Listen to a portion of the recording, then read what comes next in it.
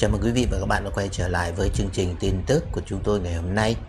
Kính thưa quý vị và các bạn thân mến, Tô Lâm tuyên bố nơi nào tội phạm lộng hành sẽ thay thế ngay người đứng đầu. Bộ trưởng Công an Tô Lâm nhấn mạnh nơi nào tội phạm lộng hành manh động gây bất an trong nhân dân thì phải xem xét trách nhiệm và thay thế người đứng đầu công an nơi đó. Ngày 21 tháng 12 năm 2020, Công an thủ đô Hà Nội tổ chức hội nghị tổng kết công tác công an năm 2020, triển khai công tác trọng tâm và phát động phong trào thi đua vì an ninh Tổ quốc năm 2021. Theo cổng thông tin Bộ Công an thì năm 2020 trước tình hình dịch bệnh COVID-19 bùng phát, Công an thành phố Hà Nội triển khai nhiều biện pháp, giải pháp hiệu quả nỗ lực hoàn thành xuất sắc các nhiệm vụ được giao Riêng về công tác đấu tranh phòng chống tội phạm, Công an thành phố Hà Nội đã triển khai quyết liệt mở nhiều đợt cao điểm đánh trúng, đánh đúng các băng nhóm tội phạm tập trung xử lý triệt tiêu các điều kiện nảy sinh tội phạm. Kết quả thể hiện qua việc phạm pháp hình sự trên địa bàn được kiềm chế, kéo giảm 15,3% tai nạn giao thông giảm sâu trên cả ba tiêu chí, đồng thời đã hoàn thành đúng tiến độ chất lượng đề án cơ sở dữ liệu dân cư quốc gia và đề án đưa công an chính quy đảm nhận chức danh công an xã. Phát biểu chỉ đạo tại hội nghị, Đại tướng Tô Lâm, Bộ trưởng Bộ Công an ghi nhận biểu dương những kết quả thành tích của lực lượng công an thành phố Hà Nội đã đạt được. Thời gian tới, Bộ trưởng Công an Tô Lâm yêu cầu Công an thành phố Hà Nội đề cao tinh thần trách nhiệm, thẳng thắn nhìn nhận, phân tích làm rõ những nguyên nhân của những tồn tại hạn chế và đề ra những giải pháp khắc phục triệt để tiếp tục đạt hiệu quả công tác tốt hơn. Trước mắt, Công an thành phố Hà Nội cần chủ động phương án kế hoạch hết sức cụ thể, chi tiết tỉ mỉ để tổ chức lực lượng, phương tiện bảo vệ tuyệt đối an ninh, an toàn Đại hội đại biểu toàn quốc lần thứ 13 của Đảng, bầu cử đại biểu Quốc hội khóa 15 và đại biểu Hội đồng Nhân dân các cấp nhiệm kỳ 2021-2026.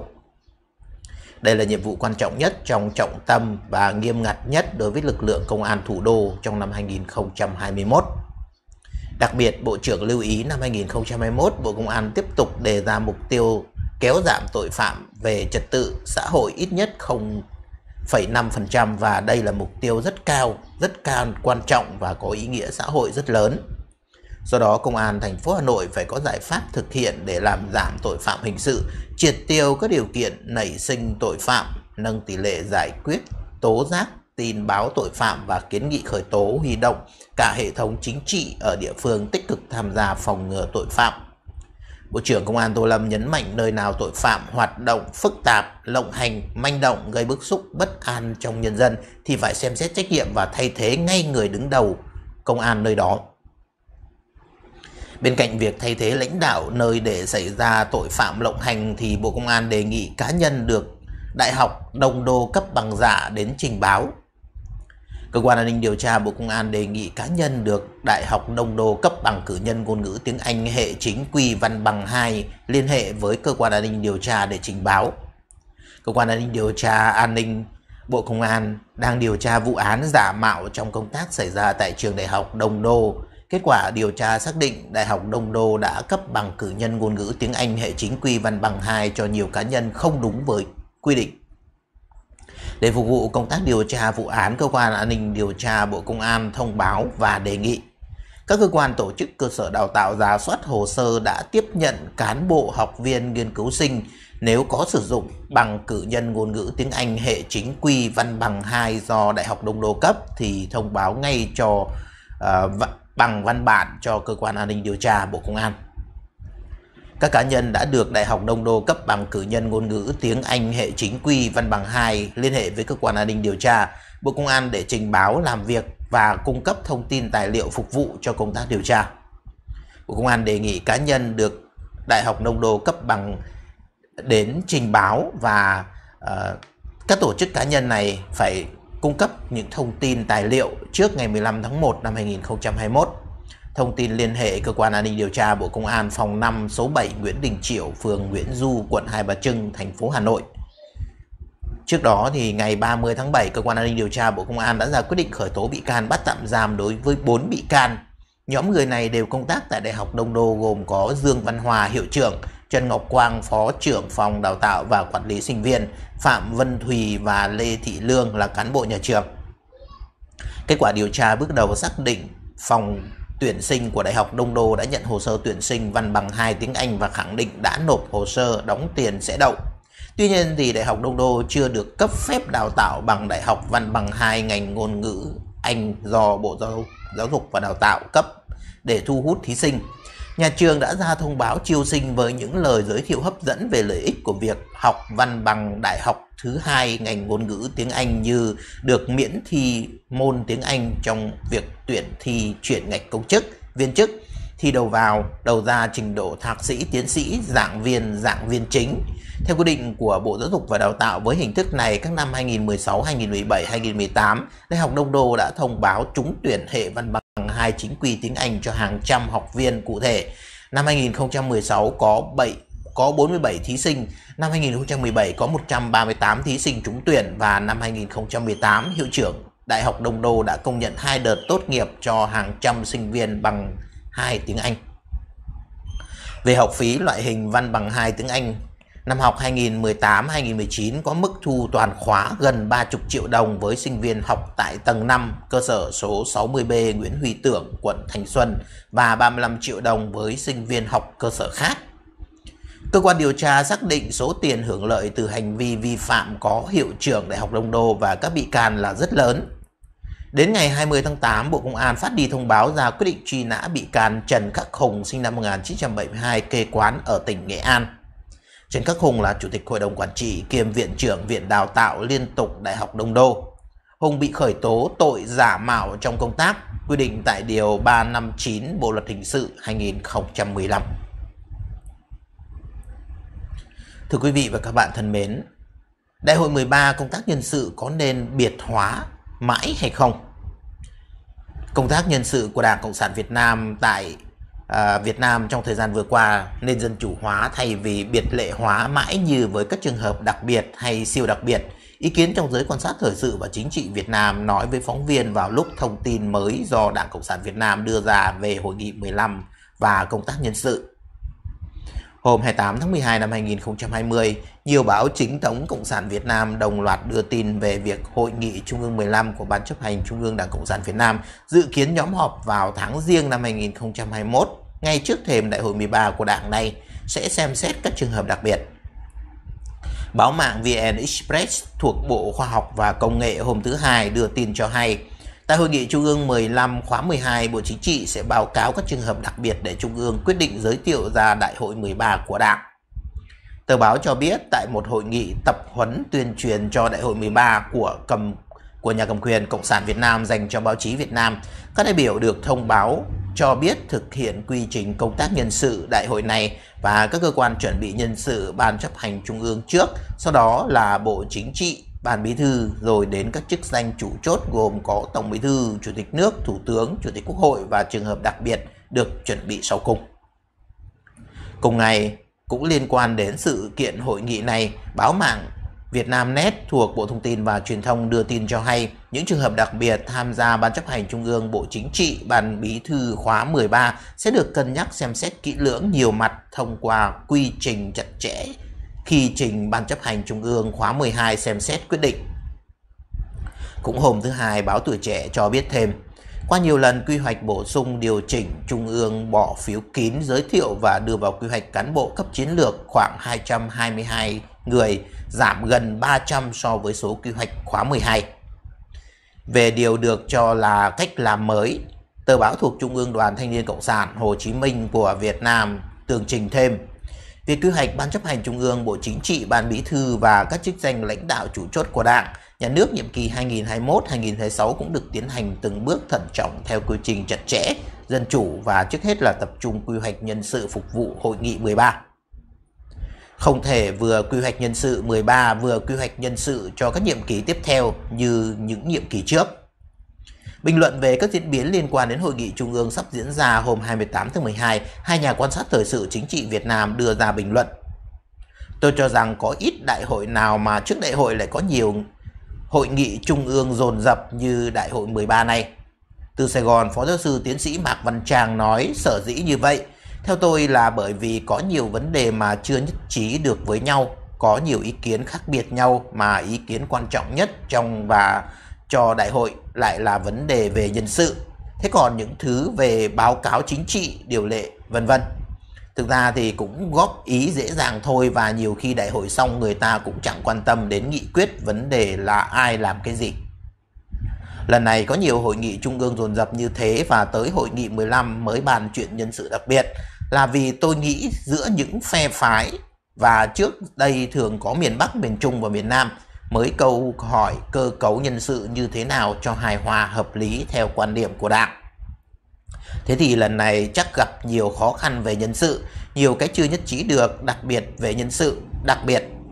Sở dĩ tại sao nhân sự đặc biệt để cuối cùng là bởi vì nếu như nhân sự không đặc biệt, các nhóm những người không đặc biệt và dàn xếp được với nhau ổn thỏa rồi và nhất trí rồi thì người ta chẳng cần bàn đến đặc biệt nữa. Nhưng vì tứ trụ không nhất trí được với nhau về nhân những nhân sự đặc biệt ấy cho nên theo tôi thì người ta cò cưa mãi và cuối cùng có khi lại có nhân vật gọi là nhân vật hay trường hợp đặc biệt hay rất đặc biệt, siêu đặc biệt được đưa ra để mà giàn hòa với mối quan hệ. Theo tôi thực chất là như vậy thôi. Từ Hà Nội, nhà quan sát Lê Văn Sinh, cựu giảng viên nhà nghiên cứu thuộc Đại học Quốc gia Hà Nội nói Báo chí và truyền thông nhà nước vừa đưa tin hội nghị Trung ương 15 Ban chấp hành Trung ương khóa 12 của Đảng Cộng sản Việt Nam sẽ xem xét nhân sự đặc biệt trong những ngày sắp tới. Điều này theo tôi có nghĩa là tại các hội nghị từ 14 trở về trước người ta chưa thống nhất được với nhau ai đi ai ở nếu chiếu theo quy định của Đảng về tuổi tác, nhiệm kỳ và sức khỏe. Điều đáng nói về hội nghị 15 là Đảng một lần nữa lại bỏ qua tiêu chí tuổi tác do chính mình đề ra. Cái làn nhân sự này từng được áp dụng tại Đại hội 12, này lặp lại. Quan sát các xã hội đường đại ta thấy rằng cách thức tuyển chọn các nhà lãnh đạo xã hội có những tiêu chí riêng, nơi thì giới hạn nhiệm kỳ, nơi thì đặt giới hạn tuổi tác. Khi người ta tự thay đổi các tiêu chí do chính mình đặt ra thì điều đó phản ánh tính bất ổn của chính thiết chế xã hội của hệ thống chính trị đó. Trở lại thông điệp hay tiếp tục biệt lệ hóa Gần sát Đại hội 13 của Đảng Cộng sản Việt Nam trong công luận Việt Nam đang có ý kiến cho rằng có thể hội nghị 15 và Đại hội 13 tới đây sẽ mở đường cho tiền lệ về trường hợp siêu đặc biệt, được hiểu là trở thành trường hợp đặc biệt nhiều lần. Ý kiến là câu hỏi từ công luận cũng đang đặt ra về việc liệu Đảng Cộng sản có nên trở lại thông lệ hơn là biệt lệ hóa trong công tác về nhân sự nói chung và đặc biệt liên quan đến nhân sự cấp cao, các nhà quan sát hôm thứ hai bình luận. Theo tôi thì cũng không nên quy định đặc biệt hay siêu đặc biệt, bởi vì nếu dân chủ thì cũng không nên quy định giới hạn tuổi nữa, bởi vì có những người tuổi 70 thậm chí 80 tuổi mà họ vẫn khỏe mạnh, sáng suốt, minh mẫn và có uy tín, nhất là có sức khỏe ổn định thì có thể vẫn bầu được Phó giáo sư Mạc Văn Trang nói. Ví dụ, trường hợp của cựu Thủ tướng Malaysia Mahathir Mohamad chẳng hạn, Ông 90 tuổi mà dưới nền dân chủ người dân vẫn có thể qua lá phiếu phổ thông bầu cho, hay như trường hợp của cố Tổng thống Mỹ Ronald Reagan. Rồi gần đây là ông Donald Trump, ông Joe Biden đều là những trường hợp trên 70 tuổi cả, thậm chí là gần 80 tuổi nhưng người ta vẫn bầu.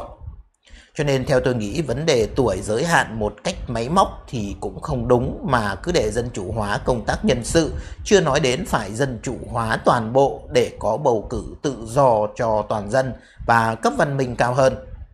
Và cứ để dân chủ, dân chủ hóa dù như tại hiện tại và cho người ta lựa chọn thì người ta sẽ căn cứ rằng nhiều tuổi nhưng có sức khỏe trường hợp cụ thể 70 tuổi có khi lại tốt hơn trường hợp 50 tuổi nào đó.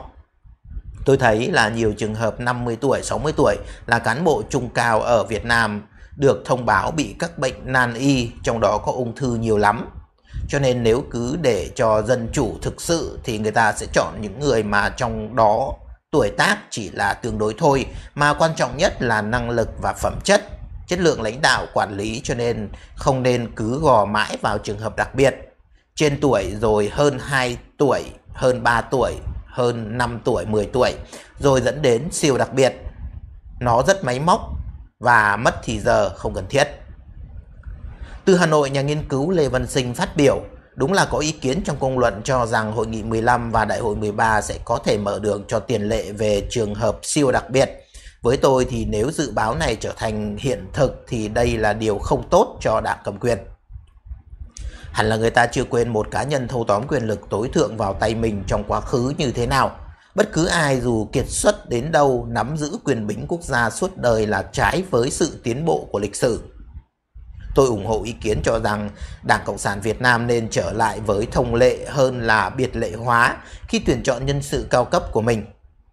Tại Trung Quốc và Nga, sự phá vỡ thông lệ đã và đang dẫn đến sự tập trung quyền lực tuyệt đối vào tay các ông Putin và Tập Cận Bình. Liệu đó có nên coi là bài học cho Việt Nam hay không? Hôm 28 tháng 12, cựu quan chức cấp cao và chuyên gia về quy hoạch nhân sự thuộc Ban tổ chức Trung ương Đảng, ông Nguyễn Đức Hà, báo cáo viên tại cuộc hội nghị tuyên truyền cho đại hội 13 được báo chí Việt Nam dẫn lời cho hay. Lần này Trung ương quy định rõ tiêu chuẩn đại biểu như đại hội 13, trong đó thì có tiêu chuẩn về chính trị, sức khỏe và trách nhiệm nêu gương. Hai nhà quan sát từ Sài Gòn và Hà Nội đưa ra bình luận về ý kiến này và đặc biệt nhận xét về tiêu chí sức khỏe và vị trí ý nghĩa trong các tiêu chí trên. Tôi nghĩ những tiêu chuẩn mà ban lãnh đạo ở bên trên của đảng mà họ nêu ra thì có thể là 1, 2, 3 hay thậm chí là 7, 8, 9, 10 chứ chẳng cứ là hai hay ba điều nào. Cái này trong điều lệ đảng người ta nêu ra trong công tác xây dựng đảng cả rồi. Thành ta muốn nhấn mạnh gì thì nhấn nhưng cái quan trọng nhất là vấn đề dân chủ. Tại đại hội cơ sở người ta bầu ai thì tức là người ta tín nhiệm người ấy rồi Vậy nên tôn trọng, còn nếu ở trên cứ gò mãi và tôi thấy, trong nhân sự không những là nhân sự để bầu ban chấp hành trung ương Bộ Chính trị, Ban Bí thư, mà các đại biểu được đi dự đại hội cũng bị gò ép một cách máy móc mà đã nói tôn trọng dân chủ. Tại đại hội cơ sở, người ta đã bầu đại biểu đi dự đại hội các cấp thì phải tin tưởng người ta. Còn tiêu chuẩn mà muốn đưa ra thì nhiều lắm, nhưng kỳ này có chú ý đến tiêu chí sức khỏe có lẽ là vì khá nhiều quan chức bây giờ khi nào mà có vấn đề gì đó thì đều khai là bị ung thư, mắc trọng bệnh, thậm chí là có thể bệnh tâm thần đủ cả, cho nên người ta nhấn mạnh cái đó để người ta chú ý chăng. Theo tôi nếu đã gọi là dân chủ thì người ta bầu đại biểu cấp dưới đi dự đại biểu cấp trên thì tôi cho rằng phải tôn trọng các tiêu chuẩn đã có hết trong các điều lệ văn bản của đảng rồi. Nhà nghiên cứu Lê Văn Sinh từ Hà Nội nói Ông Nguyễn Đức Hà, cựu quan chức cao cấp Ban tổ chức Trung ương nói rằng lần này Trung ương Đảng Cộng sản Việt Nam quy định rõ tiêu chuẩn đại biểu dự đại hội 13, trong đó có tiêu chuẩn về chính trị, sức khỏe và trách nhiệm nêu gương. Tôi cho rằng rất khó để định lượng hai tiêu chuẩn chính trị và trách nhiệm nêu gương. Tiêu chuẩn sức khỏe thì rõ như ban ngày, một người bệnh tật ốm yếu đến tự phục vụ mình chưa xong thì làm sao có thể phục vụ phục sự đảng và đất nước và nhân dân. Cách đây chưa lâu, Thủ tướng Nhật Bản Shinzo Abe tuyên bố từ chức vì lý do sức khỏe. Ông giải thích rằng sức khỏe của mình có thể sẽ ảnh hưởng đến các quyết định làm phương hại cho đất nước. Đường lối và nhân sự, hai vấn đề được cho là có liên hệ, liên thông với nhau, đặc biệt trong hoạch định thực thi và hoặc đổi mới sách lược, chiến lược và chính sách Trước câu hỏi các thông tin về chuẩn bị hội nghị Trung ương 15 cho đại hội 13 như theo báo chí Việt Nam vừa đưa ra, liệu có thể có tín hiệu gì mới đáng lưu ý về kỳ đại hội sắp diễn ra hay không? Các nhà quan sát đáp. Tôi thấy qua các đại hội cơ sở vừa rồi cho đến chuẩn bị đại hội 13, qua quá trình tôi thấy có thể thể hiện một cách làm việc thiếu dân chủ áp đặt từ trên xuống dưới một cách nhiều khi quá đáng. Chẳng hạn như là đưa ai về làm bí thư ở địa phương, bí thư huyện, bí thư tỉnh, bí thư thành phố mà áp đặt. Thứ hai nữa là giới hạn trong phạm vi quy hoạch của Trung ương thôi, để mà lựa chọn thì nó không phát hiện được những nhân tố mới. Và khi mà đưa ra những tiêu chuẩn với một thái độ cách làm việc gây gắt quyết liệt rất máy móc như thế thì nhiều người có sáng kiến hay có tư tưởng đổi mới không dám bộc lộ ra. Tôi thấy tất cả chỉ thấy có một vị như ông Nguyễn Xuân Phúc, ông Nguyễn Phú Trọng hay bà Nguyễn Thị Kim Ngân là những người hay phát biểu nhất. Còn những ông kể cả như ông Trần Quốc Vượng, Thường trực Ban Bí Thư hay các ông bà khác trong Bộ Chính trị, Ban Bí Thư đều thận trọng khác thường. Không thấy dám phát ngôn gì đặc biệt, còn chưa kể tới các cấp bộ trưởng khác vân vân. Tức là nó mở ra một không khí cũng không thực sự dân chủ, đủ cởi mở để cho mọi người trong đó có cả cán bộ quần chúng nhân dân trình bày quan điểm của mình hay là được phát biểu một cách công khai. Có thể trong nội bộ ban lãnh đạo đảng và có thể là có những trao đổi nhưng tôi nghĩ không khí kiểm soát dân sự như thế chưa kể vụ xử đốt lò lặp đi lặp lại song song bên ngoài các hội nghị thì các vị trong diện được quy hoạch thời điểm này phải giữ mình, nín thở, giữ mồm, giữ miệng ghê lắm, không dám nói và không dám làm gì hết. Thế nhưng tôi cũng nghĩ rằng đến sau khi bầu rồi thì đã vào được bộ máy rồi, lúc đó mỗi người mới năng động và mới sẽ theo quan điểm thực của họ. Và khi đó có thể họ mới phát huy được tác dụng nhất định nào đó. Do đó về tín hiệu đại hội 13 tôi nghĩ về kinh tế chắc sẽ có nhiều cởi mở hơn và có thêm những cơ hội để cho những sáng kiến dám nghĩ, dám làm trong đổi mới kinh tế. Còn về vấn đề chính trị dân chủ, nhân quyền, tôi nghĩ Đảng sẽ càng siết chặt hơn và càng siết chặt hơn bởi vì trước tình hình thế giới có những biến động, ở trong nước càng có nhiều người hơn quan tâm đến các sự kiện quốc tế thì ở trong đảng người ta càng sợ hơn, càng siết chặt hơn và biểu hiện gần đây như là đe dọa rồi bắt buộc hàng loạt Facebooker, những người mà chỉ bày tỏ quan điểm một cách ôn hòa nhưng bị bắt và nhiều vụ bị xử rất nặng thì tôi nghĩ không hy vọng gì vào những thay đổi về chính trị, về dân chủ, nhân quyền và xã hội dân sự vân vân. Nhà tâm lý học Phó giáo sư Mạc Văn Tràng từ Hạ từ Sài Gòn nói. Còn từ Hà Nội, ông Lê Văn Sinh nói, qua những gì đã và đang diễn ra trong cách thức làm nhân sự cao cấp của Đảng cho chúng ta thấy Đảng Cộng sản Việt Nam vẫn loay hoay với cung cách tuyển chọn các nhà lãnh đạo Đảng và nhà nước theo lối truyền thống. Đó là ban lãnh đạo đương nhiệm vạch đường lối cho ban lãnh đạo mới thực hiện chúng và nhân sự chỉ là tìm người thực thi nghị quyết của Đảng trong trường hợp lo ngại về khả năng trịch đường dây. Người ta dùng biện pháp đặc biệt như chúng ta thấy ở đại hội 12 và có thể là ở đại hội 13 sắp tới. Với cách làm nhân sự này, tôi e là đảng sẽ rất khó có sự thay đổi căn bản. Nhà nghiên cứu sử học Lê Văn Sinh từ Đại học Quốc gia Hà Nội bình luận trên quan điểm riêng của mình. Xin chân thành cảm ơn thời gian theo dõi của quý vị và các bạn đã dành cho chương trình của chúng tôi đến phút cuối. Hãy để lại những lời bình luận góp ý ở bên dưới video để giúp cho chúng tôi thực hiện các chương trình kế tiếp một hãy bấm nút chia sẻ để cho thông tin được lan tỏa đến với nhiều người hơn hãy bấm nút đăng ký để trở thành thành viên tích cực của kênh và đừng quên bấm vào hình quả chuông bên cạnh nút đăng ký để nhận được những thông báo nhanh nhất, sớm nhất về các chương trình của chúng tôi sắp phát hành. Xin chân thành cảm ơn và hẹn gặp lại quý vị và các bạn trong các chương trình kế tiếp của chúng tôi.